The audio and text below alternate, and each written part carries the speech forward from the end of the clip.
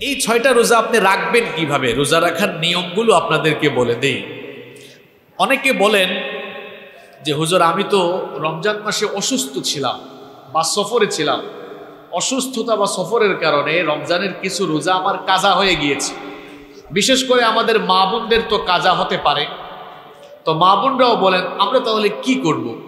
আমরা কি কাজা রোজাগুলো আগে রাখব নাকি শাওয়াল মাসের ছয়টা রোজা রেখে তারপরে অন্য সময় সুবিধা মতো আমাদের এই কাজা রোজাগুলো আদায় করব? নিয়মটা কি হবে?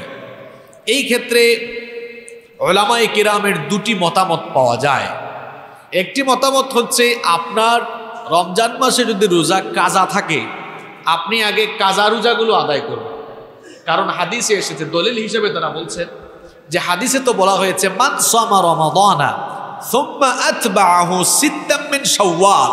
হাদিসে বলা হয়েছে, যে ব্যক্তি রমজান মাসে রোজা রাখবে, অতঃপর সাওয়ালের ছয়টি রোজা রাখবে। তো হাদিসে শাওয়াল মাসের রোজা রাখার আগে রমজান মাসের রোজা রাখার কথা বলা হয়েছে। তাহলে কারও যদি কাজা থাকে, সে কাজাটা আগে আদায় করবে, এরপরে সাওয়ালের ছয়টি রোজা রাখবে। এটা হচ্ছে একটি মত।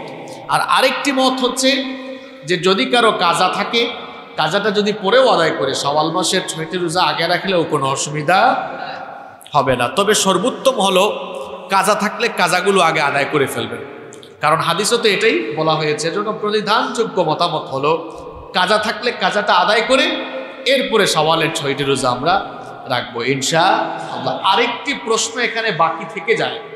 সেটি হলো যে এই ছয়টা রোজা কি আমরা একসাথে রাখব অর্থাৎ ধারাবাহিকভাবে রাখব? এক, দুই, তিন, চার, পাঁচ, ছয়, এক টানা ছয় দিন? নাকি মাঝখানে গ্যাপ?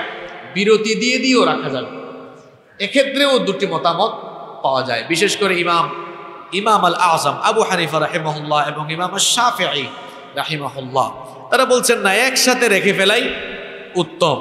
কিন্তু ইমাম আহমদ রাহিমাহুল্লাহ, তিনি বলছেন, অসুবিধা নাই। কেউ যদি বিরতি দিয়ে দিয়েও রাখে, কোনো অসুবিধা নাই। কারণ হাদিসের রোজা রাখার কথা বলা হয়েছে। একটানা রাখতে হবে, এমনটা বলা হয়নি। এই দুইটি মতকে আমরা একসাথে যদি করি তাহলে আমরা বলতে পারি, আসলে যার যেমন সুবিধা, সে সেরকম রাখলেই চলবে, কোনো অসুবিধা নাই। অর্থাৎ কিছু মানুষ তো চাকুরিজীবী আছেন, ব্যবসায়ী আছেন, তারা হয়তো একটানা ছয় দিন রোজা রাখলে ক্লান্ত হয়ে যাবেন, পারবেন না। অন্তত সপ্তাহে তারা দুই একদিন কাজের প্রেশার কম থাকে বা ছুটি পান।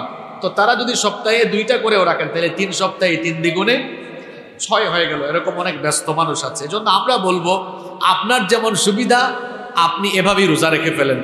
একটানা ছয় দিন রাখতে পারলে একটানাই রেখে ফেলেন। আর যদি একটানা রাখতে নাও পারেন, তাহলে গ্যাপ দিয়ে দিয়েও রাখতে পারবেন, কোনো অসুবিধা নাই। তাহলে যে ছয়টি রোজার এত ফজিলত, এই ছয়টি রোজা আমরা কি বাদ দিব? সবাই রাখব তো ইনশাল্লাহ।